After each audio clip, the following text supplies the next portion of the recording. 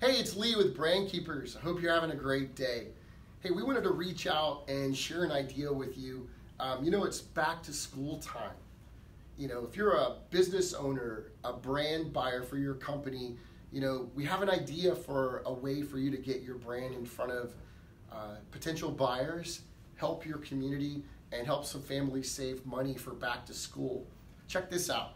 You could do branded pencils, number two, uh, branded pens, branded dry erase markers, uh, branded pencil bags, zipper bags. You could do branded, you know, your logo binders, three ring binders, notebooks.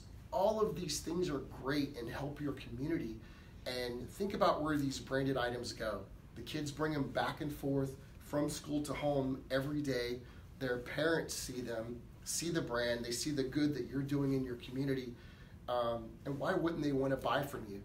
These parents could own businesses, they could be decision makers for their corporations and companies they work for. And plus, you know, doing good for your community just feels right.